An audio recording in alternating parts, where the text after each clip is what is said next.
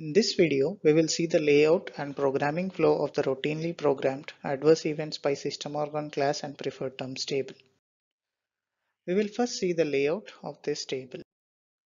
In a clinical trial, adverse events experienced by the participants are collected. The reported terms may vary slightly from one person to other person but may represent the same medical condition. So a standard dictionary like medical dictionary for regulatory activities which is MedDRA is used to translate the reported terms into standard medical terminology and it is also used to identify the primary body system affected.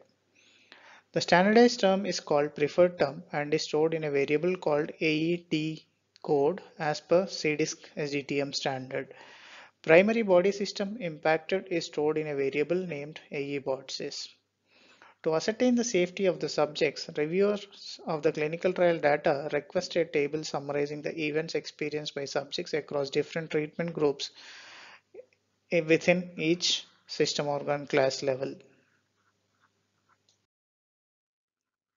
In this table, a row is presented for each system organ class and preferred term, and treatments are presented as columns.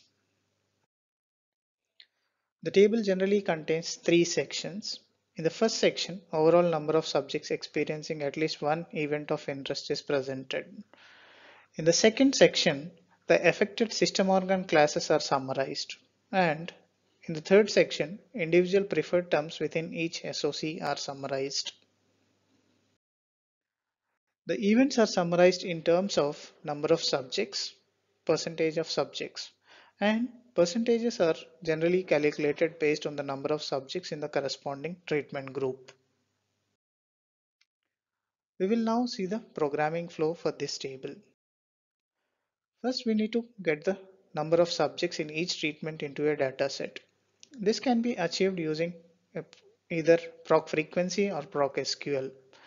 As there can be no subjects in a specific subset population, it is a good practice to create all possible levels of treatments in a dummy dataset and merge with actual treatment total so that downstream processing becomes easy and zero counts can be presented.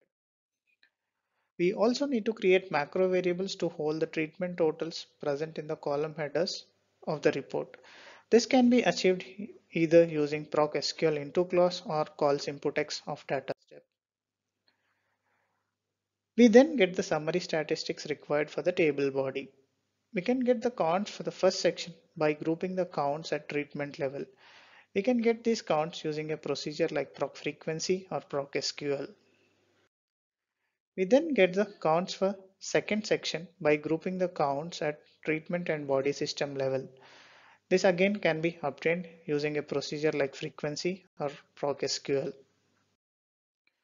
We then get the counts for the third section by grouping the counts at treatment, preferred term and SOC level.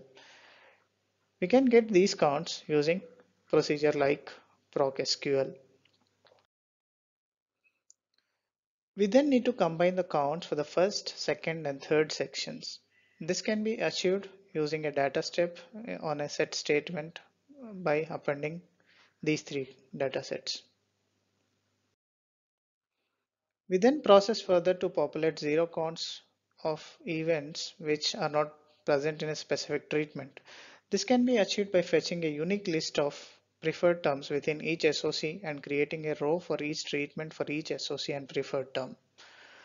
This can then be merged with actual counts to populate zero counts for an event which is absent in a treatment.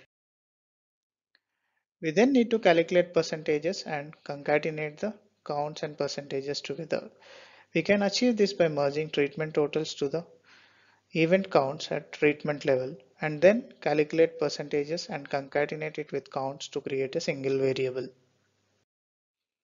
We then create a single variable to present different levels and add appropriate indication to the indentation to the indicate the level.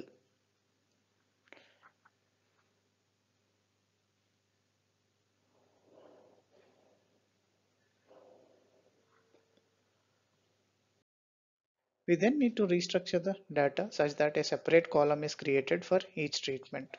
This can be achieved using proc transpose. And then we generate the report using proc report.